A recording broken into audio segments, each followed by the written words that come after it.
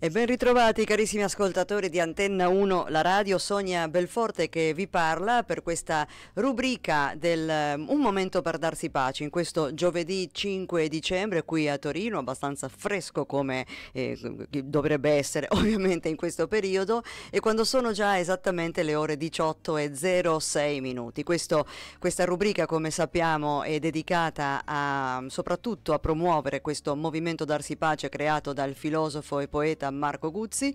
Tra l'altro voglio ricordare che domani saremo a Novara, un evento molto interessante eh, che si parlerà pro- proprio della cura, in, in, effetti si chiama Curiamoci la, mm, la, la rivoluzione, la rivolta, ecco, che si farà, si farà a Novara esattamente a Trecate presso il teatro Silvio Pellico, quindi eh, ci sarà proprio lui, Marco Guzzi, assieme al dottor eh, Raffaele Fiore. Per oggi abbiamo proprio eh, il piacere, il grande onore di poter ospitare un giovane che eh, tra l'altro è nuovo per eh, darsi pace per eh, Antenna 1 la radio, Andrea Granato che è al telefono. Andrea, buongiorno. Salve a tutti, grazie a Sonia per l'occasione. È un piacere per me perché stiamo parlando di una persona di 21 anni eh, che fa parte proprio del movimento Darsi Pace e al quarto anno del percorso e, e quindi mm, insomma eh, un, a differenza di altri eh, ragazzi che sono arrivati a Darsi Pace che probabilmente non stavano molto bene quindi cercavano anche una, una soluzione alle, alle, proprie sofferenze dei ragazzi tra, talvolta eh, andando anche su, su soluzioni non, non, non molto eh, buone invece Andrea no Andrea si stava praticamente annoiando, quindi a 15 anni eh, faceva anche parte di questioni politiche, di movimenti anche a scuola, di fare eh, insomma manifestazioni oppure insomma attività politiche proprio, nel, politiche della polis nel vero senso della parola. Quindi lui cercava proprio tanto questo e non lo trovava e quindi ha, si è incappato in un eh, video di Marco Guzzi come tanti altri giovani ed è arrivato qui. È vero eh, Andrea? Sì, sì, sì, sì. È eh. proprio stato il mio, il mio percorso che, che, è cominciato molto presto, come dicevi. Certo, sì, a 15 anni proprio. Io non mi ricordo cosa facevo a 15 anni, sicuramente facevo altro. E quindi la prima domanda che ti faccio, carissimo Andrea, è quindi come sei arrivato a darsi pace, però detto da te, cosa ti mancava esattamente e che cosa hai trovato? Sì, allora Sonia e a tutti gli amici ascoltatori che ci stanno seguendo, eh, tu hai parlato di, di, una noia di fondo. Mm-hmm. Ora io direi che la noia è, è, una, la, è, una, parola giusta per indicare il punto di partenza di una ricerca che, come dire, ci possiede, una ricerca a cui vogliamo dare tutto, no? qualunque poi essa sia, come è appunto quella che comunque eh, sto e stiamo portando avanti noi ragazzi. Eh, io non voglio dire di darsi pace nel senso di, un movimento, di un'appartenenza identitaria, ma io direi noi ragazzi del XXI secolo. Mm. Noi ragazzi del XXI secolo cosa cerchiamo? Io per capire cosa cerchiamo direi da dove cerchiamo. Mm. Cioè qual è l'impulso? E tu l'hai detto Sonia, la noia, ma la noia è fame. Cioè la noia è un sentimento di mancanza profonda, mm-hmm. di mancanza profonda per qualcosa che non sappiamo poi neanche definire, perché io quando avevo 15-16 anni sentivo, avvertivo, ecco, più che pensare in modo, capite, distinto, elaborato, io avvertivo di primo impatto eh, uno scenario desolante intorno a me, cioè mm. io mi, mi vedevo... Eh, dentro questa sorta di grande ingranaggio che poi è la società, che è la scuola che ci prepara alla società, dove appunto ognuno di noi ha dei ruoli, io ero uno studente, gli studenti appunto passano una settimana tra la scuola, lo studio, la, le attività motorie, poi c'è il sabato sera, c'è il divertimento, poi si lavora e quindi questo, è questo ingranaggio, questo grande, questa grande ruota, no? Mm-hmm. Che non è semplicemente il mondo della scuola, ma che poi si diventa il mondo del lavoro, diventa un destino, mm. e con questa grande ruota in cui siamo tutti dentro, ecco io sentivo che mancava qualcosa. E io direi che eh, il grande, forse la, la, la, la grande, ehm, come dire, il grande scatto in avanti avviene nel, nella vita di ogni persona, per, quello, per, quel, per, quel, poco che può valere la mia testimonianza, che è anche molto breve, dicevi ho 21 anni, quindi sono anche molto giovane, però io direi che il vero scatto accade quando noi diamo credito a questa voce, a questa mm. voce che ci dice che manca qualcosa e la seguiamo. La seguiamo dove? Non lo so. Mm. Però questo è il bello della ricerca, che non sappiamo dove andiamo. Mm, e te sei un grande ricercatore, vuoi proprio sapere, no? E poi tra l'altro guardavi i sessantottini, questi movimenti, avevi un po' questo fuoco che, che, che ti bruciava in qualche modo. Sì, sì, certo, perché per me il 68 con tutte le immagini, la musica, la cultura, no? beat, cioè per me rappresentava quello che la mia generazione, quello che i miei coetanei non erano. Mm-hmm. Quindi proprio un'esperienza da età dell'oro, cioè che poi è un'esperienza un po' archetipica dell'uomo, cioè io sentivo che c'era un vuoto mia, nel, nel, mio presente e diciamo anche un po' ingenuamente come un ragazzo di 15-16 anni proiettavo, come dire, proiettavo eh, all'indietro, nel passato, negli anni 60, eh, questa sorta di grande efflorescenza che poi c'è stata, c'è un momento di, anche di grande risveglio collettivo, questo è stato il 68. Io credo che davanti a noi ce ne, sarà, ce ne saranno altri. Mm. Io questo voglio sperare. Mm. Questo spero, mi auguro oh, stasera che ci saranno altri 68 anche più radicali di, che, di, quello che fino adesso c'è stato. Eh, perché lì magari c'era un po' di illusione, no? un po' di, di, di, idealismo, invece qui adesso quello che manca è più una radicalità, come dicevi te, a sent- sentire proprio quella, quella voce del cuore. Ma che bella questa frizzantezza di questo giovane Andrea Granato. Andrea, facciamo una pausa musicale e poi ritorniamo. Eh? Devo fare altre domande che mi incuriosisce proprio. Restate con noi con Andrea Granato del movimento Darsi Pace, tra poco. Alziamo le vibrazioni. E mentre ascoltavo questa canzone mi, mi, incuriosisce sapere se ti piace Bruce Springsteen e ti piaceva questo pezzo. Un, cioè, a 21 anni cosa ti piace? Come? A 21 anni cosa piace? Come, ti, ti, è piaciuta questa canzone di Bruce Springsteen? Sì, sì, assolutamente. Io poi sono molto legato, insomma, come dicevo, questa, anche a questa musica, no? Mm-hmm. Anni 60, 70, 80. E quindi per me, eh, diciamo, quello, cioè, mi, mi, sento a casa, ecco, ah. quando queste parole, sì, sì, sì, questo, questo canto, questa musica. Quindi eh, non mi preoccupo se sono boomer o non boomer, cioè a te piace. Assolutamente, ma Bene, allora, non so che cosa succede con il microfono, perché mi fa, mentre parlo, aspetta un secondo, vediamo se, eh, ok, forse adesso va meglio. Ehm, allora, Andrea, prima stavamo parlando dei disagi, no? Come ti senti in questa società oggi, eh, dopo aver incontrato un po' Darsi Pace, e in, in relazione anche ai tuoi coetanei? Eh, perché non deve essere facile. Sei uno studente di filosofia e hai una ricerca, una profondità proprio nel, nel sentire, eccetera. E come ti senti tu con, tra i tuoi coetanei? Ma io direi che ci sono almeno dentro di me eh, due trazioni, due tendenze complementari che devono essere secondo me sempre alimentate insieme mai sganciate l'una dall'altra. Da una parte certamente il grande rischio, lo dico in modo molto brutale, è, è farsi catturare, cioè farsi catturare in una serie di eh, situazioni, relazioni tossiche, in un contesto dispersivo, nichilista, eh, fondamentalmente edonista, no? quindi appiattito al, al piacerucolo. Quindi questo è il primo, quindi la, la, prima tendenza in me è una tendenza appunto a una radicalità di una ricerca che innanzitutto dico ricerca della verità, ricerca dell'autenticità, mm. ricerca della vita, ricerca della vita semplicemente e, e dare tutto a questa ricerca, cioè radicalità vuol dire dare tutto, mm. Mm, tutto, cioè, non, non si può dare meno di tutto secondo me. Quindi questo è un primo polo, dall'altro però c'è sicuramente anche, oltre a una, una tendenza potremmo dire eccentrica, no? di uscire, di individuarsi, ma c'è anche un grande desiderio di entrare in relazione, di entrare in contatto, di creare un, dire, dei, dei, bacini di condivisione, anche questo stiamo un po' tentando di fare con l'indispensabile entrando nelle università, cioè, c'è il desiderio di, del volto dell'altro. Mm e quindi eh, questi sono due poli, quindi potremmo dire anche la solitudine, la dimensione diciamo più dello studio, del ritorno dentro se stessi, ma poi il grande desiderio di guardare il volto dell'altro, mm. di contemplarlo con una profondità che chiaramente è tanto più profonda quanto più uno è solo, in un certo senso, quanto più si alimenta alle sorgenti interiori, tanto più poi all'esterno dà, come dire, faville, fa faville, scintille quindi io direi che sono queste le due poli, cioè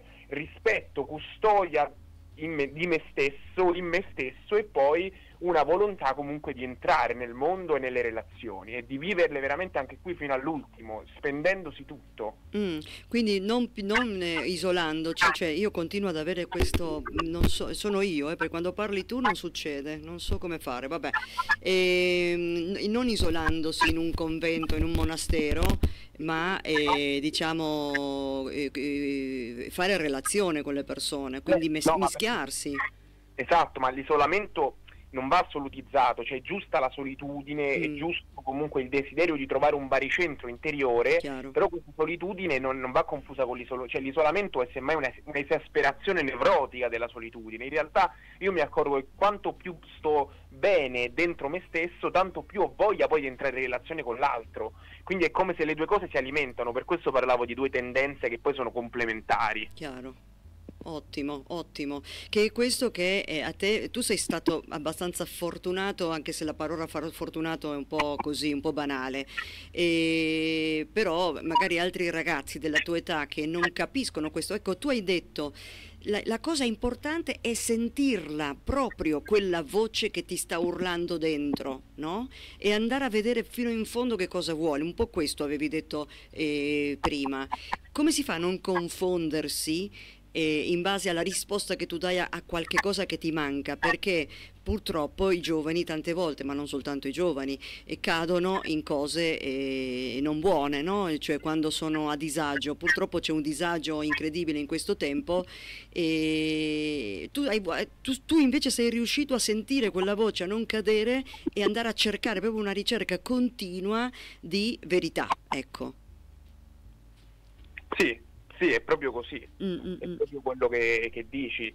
Eh, diciamo che cioè avevi già un percorso spirituale prima e già, eri già avvantaggiato, non so... No, eh, no, ma io ti direi, ma qui non si tratta chiaramente di vantaggi, diciamo, di tipo mondano, io direi che quello che almeno posso dire nel mio cammino personale ha giocato un ruolo, che non è soltanto mio personale, ha giocato un ruolo di grande, eh, direi quasi occasione salvifica, anche mm-hmm. se può suonare paradossale e spero per molti ascoltatori non si irriteranno, è stato il lockdown del marzo 2020, perché Penso lì c'è stata una sorta di eremitismo forzato, uh-huh. quindi io sostanzialmente è stato questo, no? siamo stati rinchiusi in casa per tre mesi e io lì ho iniziato a meditare, lì ho iniziato a scrivere poesie, lì ho iniziato a contattare questa, diciamo, questo lago interiore in cui però stavo bene, mm. cioè io tornavo dentro di me e tornavo nell'integrità, e, è stato quel lockdown che mi ha permesso anche di mettere distanza a tutta una serie di relazioni che stavano diventando invivibili e che quindi mi è stato un po' come il trampolino di lancio. Quindi quello che io vorrei testimoniare a livello proprio di, di, di vita esistenziale, di cammino personale,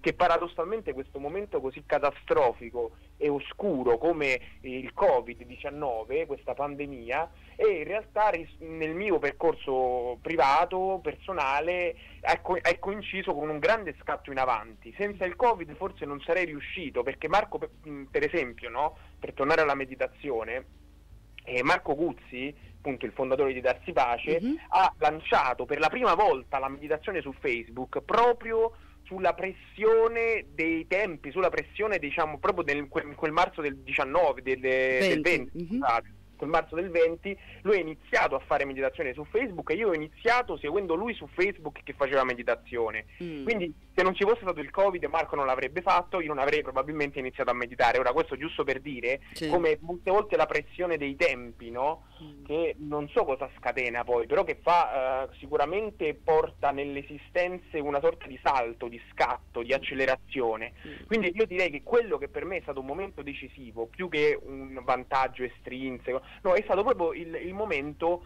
eh, almeno del primo lockdown, del mm. primo.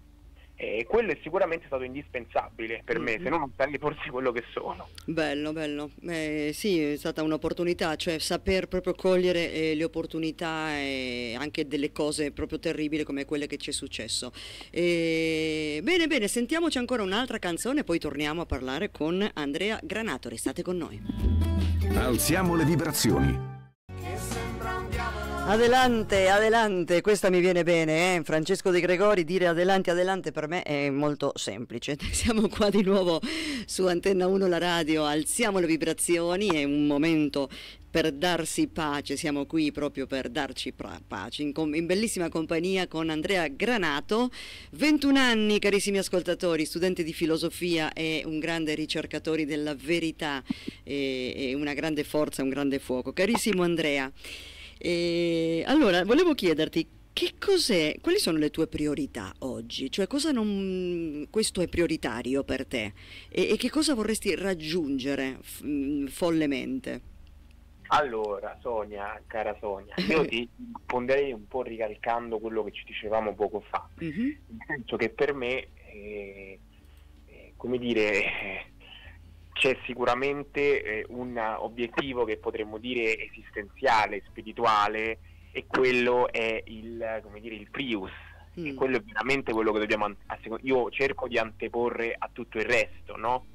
E, io credo ci sia una frase di Gesù che però vale anche per chi non è cristiano, chi non è, o chi magari ha un'altra confessione, lui dice cercate il regno e poi tutto il resto vi sarà dato. Quindi il regno io direi che è eh, la meta, il regno è già qui sulla terra, eh? mm-hmm. non il regno dei cieli solo dopo la morte, dobbiamo aspettare, il regno della verità, della, io direi dell'integrità, mm. di appunto lasciare emergere il volto di noi stessi, il volto reale che siamo e che purtroppo è come diceva Etty Illesum, sepolto sotto detriti, sotto cumuli e cumuli di detriti. Quindi io direi che la, innanzitutto eh, la, il primo obiettivo è sempre lo stesso dall'inizio ed è questo volto vogliamo, in cui ci vogliamo rifinire in un certo senso, è una plastica facciale, come molte volte dice Marco, no? Quindi scoprire questo volto, scoprire questa verità che è poi la cosa più intima, cioè non è la cosa che sta fuori, è la cosa più intima, più interiore, che ci appartiene in modo più viscerale, quindi è la cosa anche più prossima, più vicina.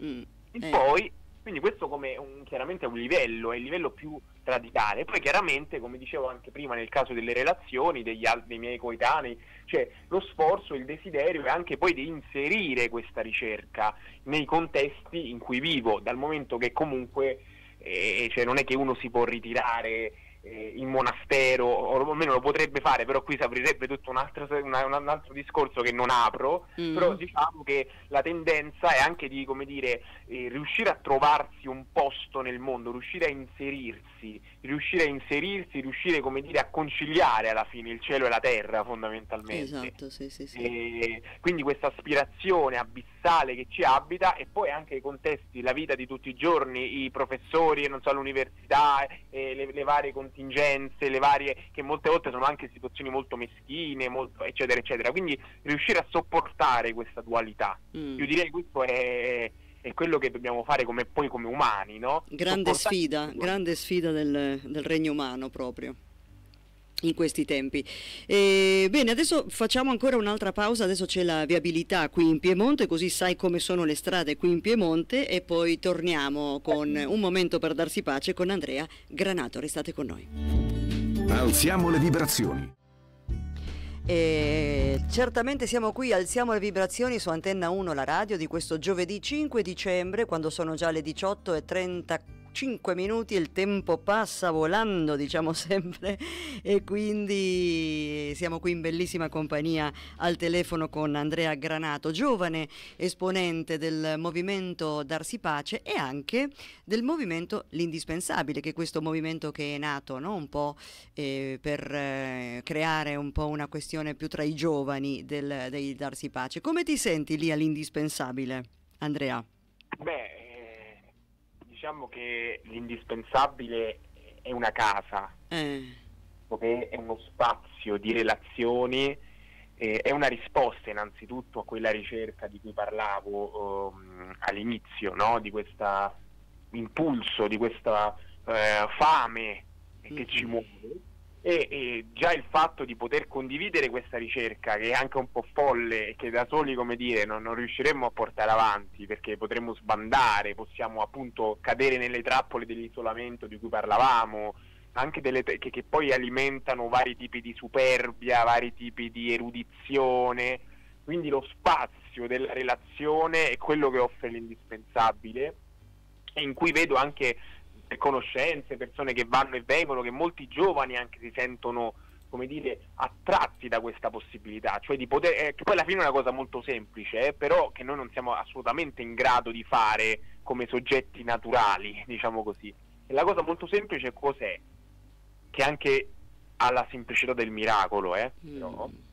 è poterci relazionare l'uno con l'altro a partire da una profondità maggiore, maggiore di quella alla, alla, alla quale siamo abituati a uh, vivere, no? Mm-hmm. A vivere, cioè noi ci incontriamo, ci relazioniamo sempre a partire da dei tipi di strutture psichiche, comportamentali, emotive che sono per lo più distorte. Quindi ci, alla fine incontriamo l'altro per fuggire da noi stessi. Mm. La cosa bella è che è uno scatenamento di energie, non è bella, è bella nel senso di un'esplosione di energie che noi viviamo e che anche magari in una tavolata, in una pizza, eh, in, qualsiasi, in qualsiasi incontro, è come proprio questa relazione cioè il, mm, diciamo questa relazione ci infiamma perché è appunto nutrita da una ricerca comune, da un fondo comune, da un'aspirazione, da una tendenza, da una presenza direi comune, comune che ci attraversa e che noi però sappiamo molto più grande appunto delle nostre singole individualità e nella quale ci sentiamo raccolti e questa è un'esperienza che io non so quanto sono riuscito a tradurre in parole perché è un'esperienza, non si può, cioè, si può testimoniare ma non si può più di tanto eh, ricreare, cioè si deve vivere, però direi che questa esperienza è la risposta, mm. la risposta già, diciamo, già anticipata. Eh, della ricerca, cioè alla fine io voglio dire questa, questa cosa mi spingo un po' in là, no? Vai, vai. Però ultimamente nelle letture del giorno abbiamo letto un testo di Isaia mm-hmm. dove c'è questa immagine del banchetto, no? Sì. Ora uno non pensa del, del, banchetto escatologico, ora uno non ci pensa mai perché subito si fa rappresentazioni di Dio, no? le cose, ma alla fine quello che descrive Isaia come telos, come compimento ultimo no? delle nostre aspirazioni, è una tavolata, è una tavolata, cioè è uno spazio di relazione, ci sediamo a tavola insieme e mangiamo e parliamo e ci apriamo e spezziamo il pane, no? Appunto la dimensione della cena, che è una dimensione che è sacrale. Uh-huh. Io, direi che questo, io direi che questo è l'indispensabile. L'indispensabile è la cena, se la intendiamo in un senso simbolico che però è anche molto reale, perché noi molte volte, sia diciamo dopo gli incontri, sia anche senza dico, gli incontri di darsi pace, sia anche diciamo per conto nostro, noi ci ritroviamo, non so, ci mangiamo una pizza, facciamo cose che sono normali, ci sono molto ordinarie a sentirle, in cui però in questo ordinario, cioè nella tavolata, che è qualcosa appunto di forse addirittura banale, però si nasconde lo straordinario. Mm.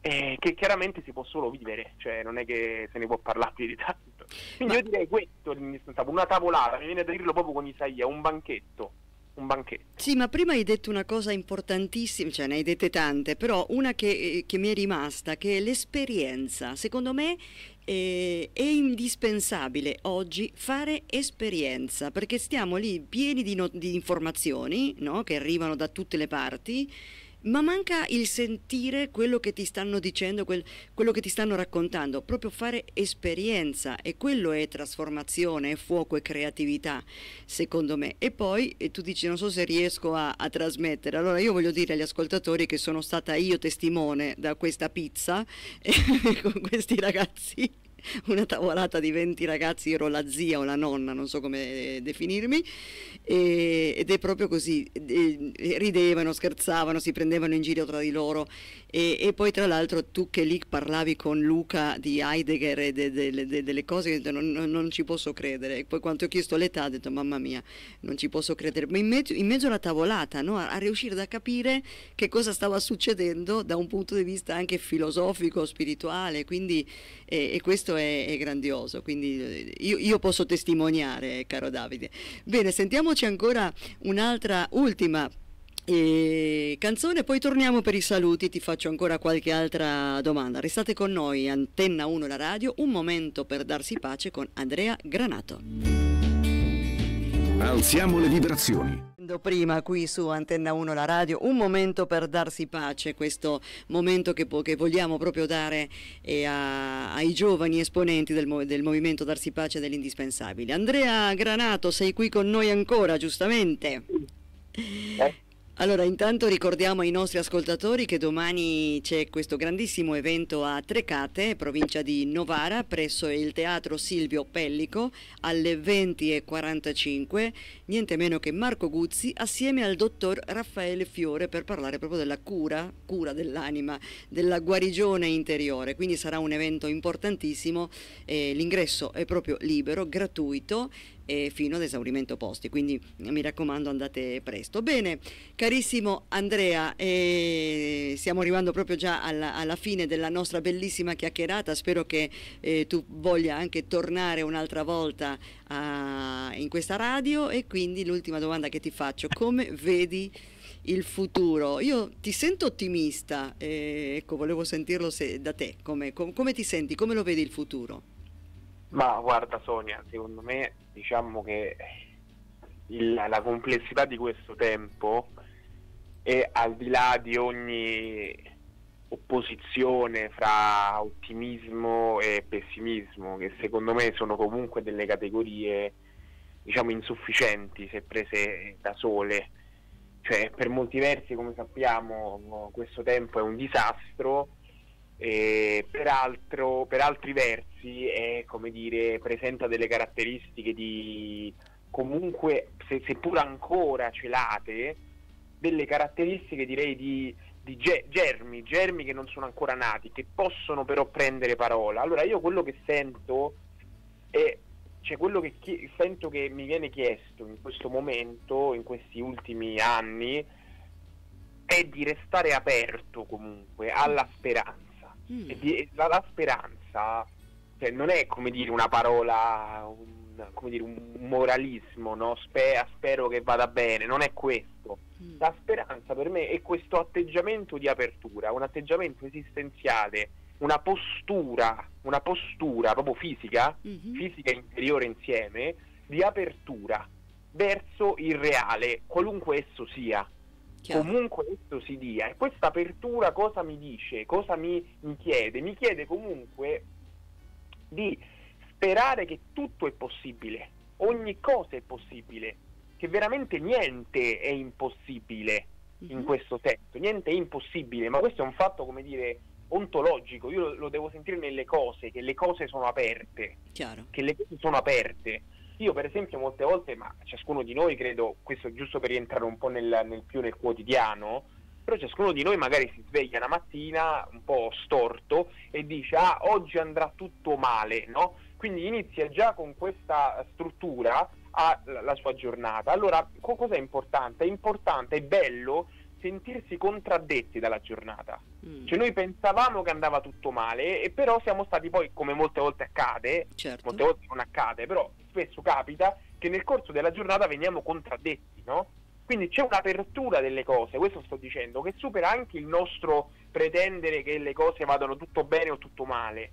E io direi che per me è importante restare in questa, in, in, in questa diciamo, in questo asse, no? È proprio un asse, io lo sento proprio come un asse le cose, quindi non soltanto le, mie, le piccole cose delle nostre eh, giornate, della nostra vita quotidiana, ma io direi anche il corso misterioso del tempo rimane aperto, rimane biforcato, rimane biforcato. Quindi io se dovessi credere veramente che è tutto il, cioè, come dire, tutta que- quello che vediamo, se io dovessi vedere soltanto l'aspetto, come dire, oscuro, di tenebra di questo tempo, quindi le guerre, quindi la pandemia, quindi tutto quello che sta uscendo e che invece era stato coperto rispetto alla pandemia, e c'è tutto questo. E se io non vedessi uscita, quindi vedessi, capite, non vedere uscita vuol dire che tu senti il momento presente come chiuso nelle sue possibilità ultime. Chiaro. Cioè senti il presente come impossibile.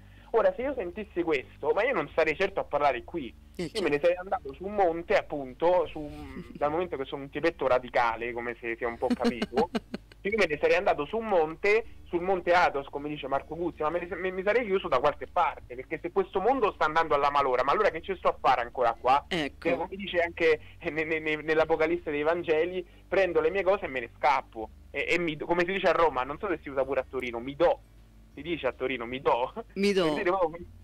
Mi, do, nel senso mi do vuol dire me ne vado e chi si è visto si è visto, mentre io sento che mi viene chiesto di restare qui nel tempo e di sentire, di imparare ad ascoltare il tempo come aperto a de- delle possibilità che ci trascendono. Quindi io, se tu mi dici lo senti pessimista o ottimista, io ti dico non lo so e voglio rimanere in questo non sapere, perché questo non sapere è per me il luogo più areato, il luogo dove respiro, il mm. mio habitat naturale. Quindi io credo che questo è un po' lo stato in cui mh, c'è una non risposta. Io ti rispondo non rispondendoti, però non posso fare altrimenti.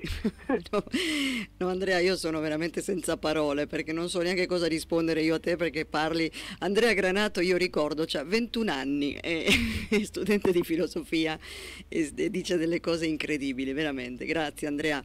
Grazie, e spero che possa tornare eh, un'altra volta a fare un'altra, parliamo magari di, di qualcosa di specifico sì, del, dei tuoi studi. Quindi io ti ringrazio veramente con tutto il cuore per il tuo tempo che è, ehm, che è ricco, che, che, che è prezioso e ce l'hai donato in questo momento e, e, e, ti auguro tutto il bene da qui all'eternità come dico a tutti. E ricordo ai nostri ascoltatori che il prossimo eh, giovedì sarà con noi Giorgia Cecconi che è una concertista e la, eh, diciamo la, la pianista ormai di, di, Darsi Pace e ci parlerà anche di cose molto interessanti perché che cosa fa proprio la musica al nostro sistema nervoso, sta facendo tutto uno studio su questo, quindi sarà una, una, chiacchierata molto interessante.